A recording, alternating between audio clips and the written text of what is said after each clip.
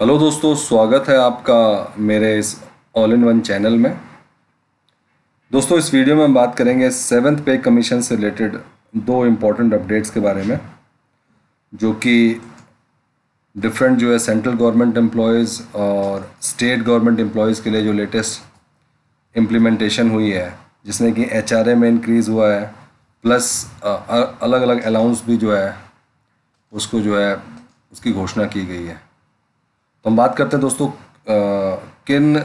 सरकारी कर्मचारी और पेंशनर्स के लिए ये इम्पोर्टेंट अपडेट है? और किन किन सरकारी कर्मचारियों की जो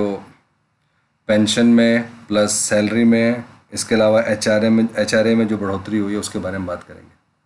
तो चलिए दोस्तों बात करते हैं इन सभी इंपॉर्टेंट अपडेट्स के बारे में। अगर अभी तक आपने इस चैनल को सब्सक्राइब नहीं किया तो सब्सक्राइब ज़रूर करें जिससे आने वाली हर वीडियो का अपडेट आपको मिलता रहे।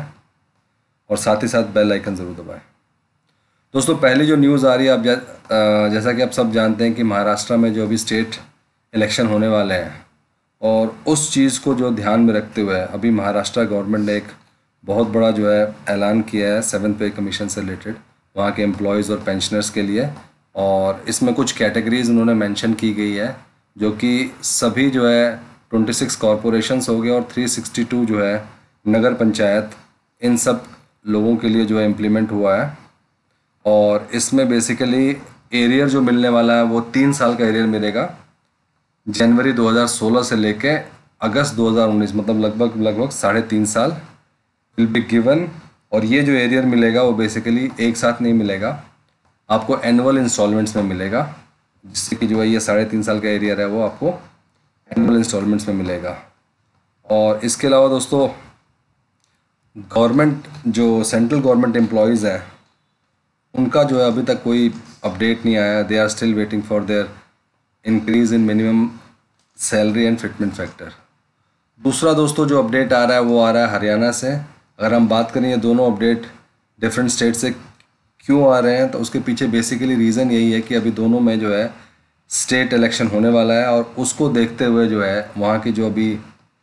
लेटेस्ट गवर्नमेंट है, उन्होंने अब क्या किया है कि एचआरए जो है, अब हरियाणा गवर्नमेंट ने क्या किया है एचआरए को बढ़ाने की बात की गई है और इसमें कहा गया है कि the revise house rent allowance would be implemented with effect from first August और the new HRA policy of the Haryana government is in line and recommendation of basically seventh pay commission की recommendation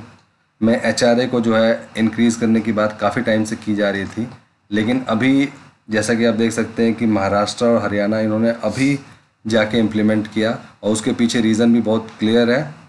क्योंकि अभी state election होने वाले हैं और उसको देखते हुए वहाँ के एम्प्लॉयज़ को जो है, ये गिफ्ट देना ज़रूरी था।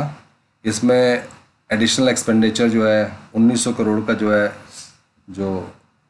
एडिशनल जो है एक्सपेंडिचर होगा और साथ ही साथ जो है, साढ़े तीन लाख एम्प्लॉयज़ को इसका बेनिफिट मिलेगा। तो बेसिकली सेवन्थ पे के रिकमेंडेशन जो है, काफ़ी टाइम से हो रखी है बट धीरे धीरे करके जो स्टेट गवर्नमेंट है, वो अपन अलग अलग टाइम पे कर रहे हैं और बेसिकली टाइम सबको पता है कि इस टाइम पे क्यों कर रहे हैं, क्योंकि अभी इलेक्शन है, इसकी वजह से और ये जो है ऑलरेडी जो है इसकी इम्प्लीमेंटेशन का नोटिस आ चुका है। तो दोस्तों, ये था आज का सेवन्थ पे कमीशन से रिलेटेड दो बड़े अपडेट अगर वीडियो पसंद आई तो उसको लाइक कीजिए शेयर कीजिए और सब्सक्राइब करना ना भूलें। Thank you for watching